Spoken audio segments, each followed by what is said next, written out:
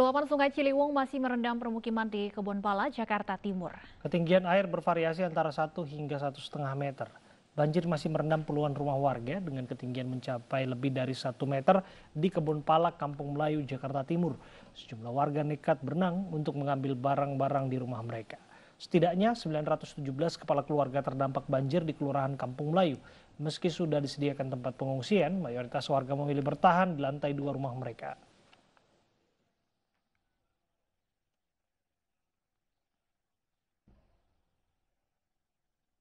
Dan untuk mengetahui kondisi terkini banjir di Kebun Pala sudah ada rekan kami Kevin Pakan. Kevin, bagaimana situasi terkini di tempat Anda melaporkan?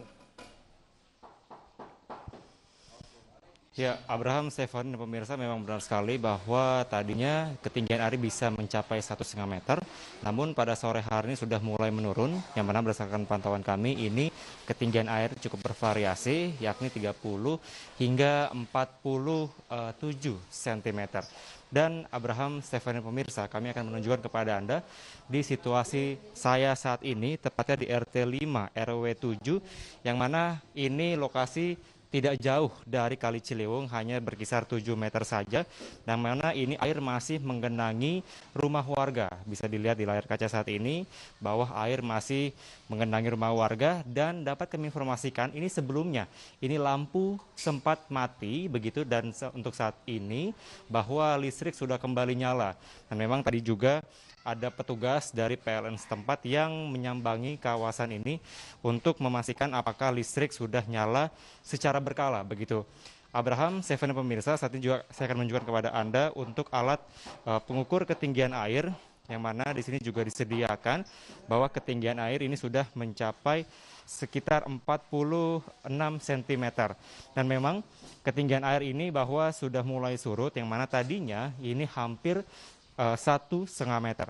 Abraham, Stephen pemirsa, bila kita menjorok uh, ke dalam lagi begitu, seperti yang di layar kaca saat ini, bahwa ketinggian air ini lebih dalam karena memang posisinya lebih dekat dari Kali Ciliwung dan memang kalau tadi pun juga kami sempat uh, agak sedikit ke dalam ke sana begitu yang mana ketinggian air ini sudah mencapai 70 cm. Abraham Stephen pemirsa memang sangat diharapkan bahwa uh, curah hujan dari kota Bogor ini tidak uh, terlalu tinggi dan memang sangatlah diharapkan agar dari uh, curah hujan ini dapat segera mereda agar uh, agar perumahan yang berada di bantaran Kali Ciliwung ini dapat segera surut terutama di RT 5 RW 7 di tempat saya berada saat ini.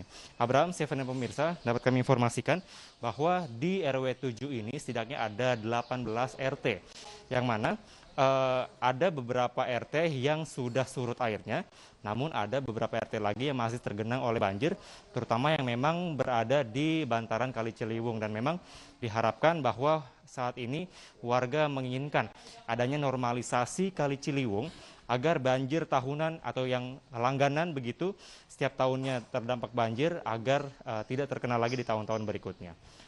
Abraham dan Stefani. Baik, terima kasih Kevin Pakan atas laporannya langsung dari Kebun Pala, Jakarta Timur. Selamat bertugas kembali. Sejumlah wilayah di Karawang, Jawa Barat masih terendam banjir hingga ketinggian 2 meter. Meski demikian, banyak warga memilih bertahan di rumah. Ketinggian banjir di Desa Purwadana, Karawang masih mencapai 2 meter. Tugas gabungan TNI Polri terus melakukan evakuasi terhadap warga yang ingin mengungsi. Beberapa warga lainnya malah memilih bertahan dengan alasan menjaga rumah mereka. Banjir disebabkan meluasnya, meluapnya tepatnya, Sungai Citarum dan Cibaet, serta dampak meluasnya banjir di Teluk Jambe.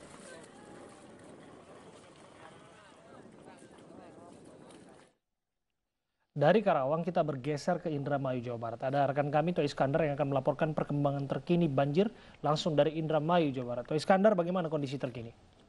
Baik, Abraham. Uh, saat ini saya berada di salah satu desa yang merupakan titik banjir yang paling parah, di mana di desa Teluk Agung, kecamatan Persat Maya ini merupakan titik yang merupakan banjir masih menggenangi ketinggian mencapai masih satu meter lebih. Uh, untuk saat ini banjir yang terus menggenangi sejumlah rumah warga atau yang lainnya seperti di jalur Pantura Untuk saat ini di jalur Pantura sendiri sudah menunjukkan tanda-tanda surut. Namun ada beberapa tadi siang tadi kita pantau di jalur Pantura Losarang dan Seleng itu merupakan masih uh, tergenang banjir dengan ketinggian 40 cm.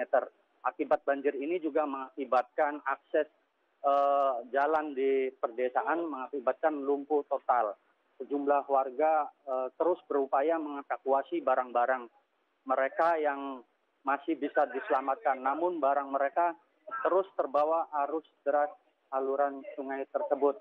Untuk saat ini ketinggian banjir yang masih menggenang di 8 kecamatan seperti di Kecamatan Kertasmaya sendiri masih titik terparah merupakan eh, dari 18 kecamatan tersebut masih tinggi untuk di saat ini di Kecamatan Kertasmaya sendiri. Untuk eh, apa untuk ini tidak ada korban jiwa namun di desa di Kecamatan Horgelis merupakan ada salah satu warga yang terkena penyakit uh, terus petugas BPBD dari petugas Basarnas Bandung dan Basarnas Kabupaten Indramayu mengevakuasi jasad tersebut dibawa langsung ke rumah duka uh, Abraham. Baik, terima kasih Toy Iskandar melaporkan langsung dari Indramayu, Jawa Barat. Selamat bertugas kembali.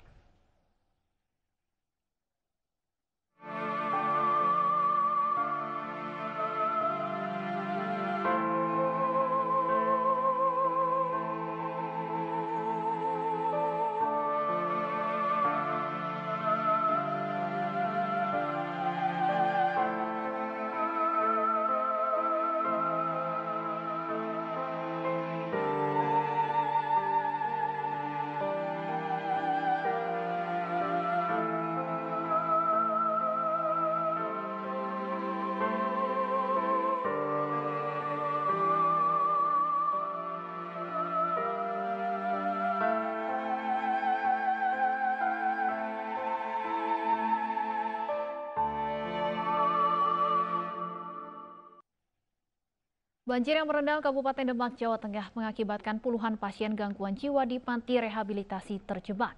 Sementara itu 150 warga binaan di Pekalongan terpaksa dievakuasi karena lembaga permasyarakatan terendam banjir.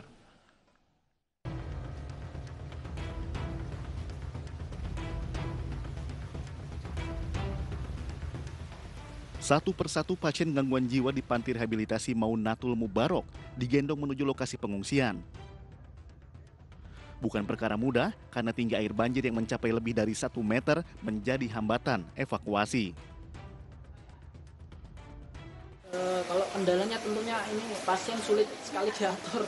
Ya maklum saja karena apa mereka kan nggak sama seperti kita normal kita paham kesehatan mereka sulit sekali untuk menjaga kesehatan pengennya mainan air terus pengennya ya mainan air terus lah jadi sulit untuk menjaga kesehatan Lokasi pengungsian yang disiapkan juga seadanya dengan memanfaatkan pagar bambu sebagai alas duduk pasien di lokasi yang tidak terlampau parah terendam banjir. Akibat banjir, seluruh kamar rawat terendam. Kini pengelola panti berharap bantuan kemanusiaan bagi para pasien. Banjir juga menerjang wilayah Pati, Jawa Tengah. Ketinggian banjir terus bertambah dan semakin meluas. Dari data sementara, 32 desa terendam banjir yang tersebar di enam kecamatan. Banjir terparah di Kecamatan Gabus, Kecamatan Pati Kota, dan Sukolilo. Ketinggian banjir di wilayah ini bahkan membuat warga mulai mengungsi. Para pengungsi kini membutuhkan bantuan makanan serta fasilitas kesehatan.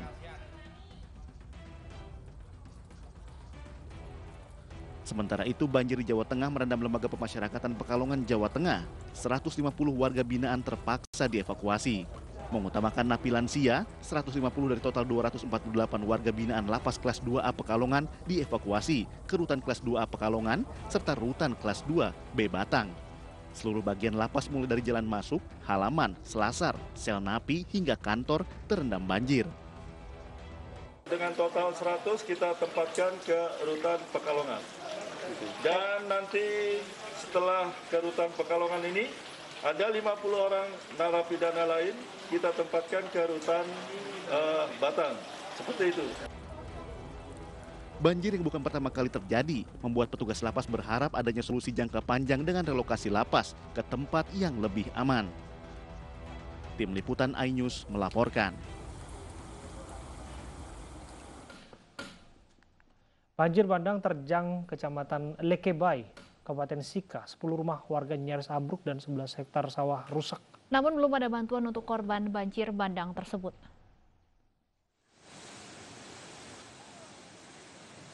Banjir bandang ini menerjang Kecamatan Lekebay, Sikan, Nusa Tenggara Timur. Banjir ini nyaris meruntuhkan 10 unit rumah warga. Sementara sawah yang rusak akibat banjir ini seluas 11 hektar dan terancam gagal panen. Namun menurut warga, hingga saat ini pihak Pemda Sika belum memberikan bantuan untuk korban banjir bandang.